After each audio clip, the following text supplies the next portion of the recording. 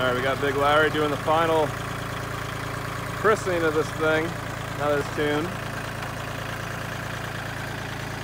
Yes, we have to do some ingenuity to get it all fit in this 22 foot trailer. So we're gonna run the finishing mower for now. Maybe we'll do some bush hogging.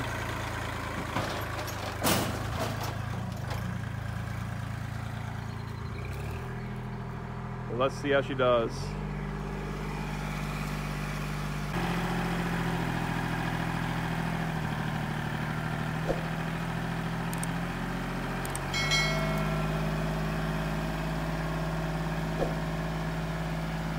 But before we can do anything, time for blades and a bunch of goodies to go along with it.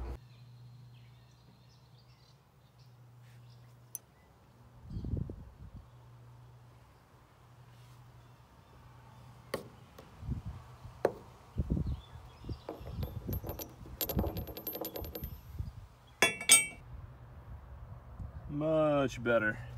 And the wheel on.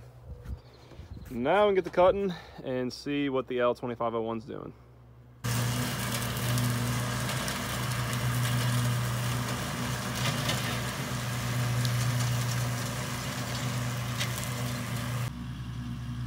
All right, so no better time to make the video than literally at the end of the day. We have been cutting all day with the tractor.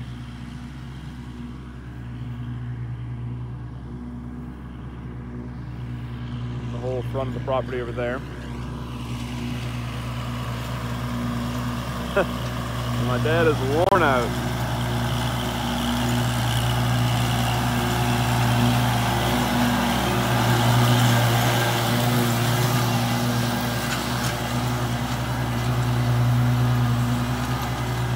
Pretty much been running at 2,500 RPMs all day.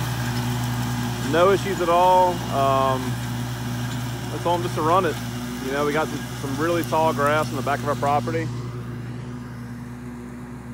Over there, can't really see it.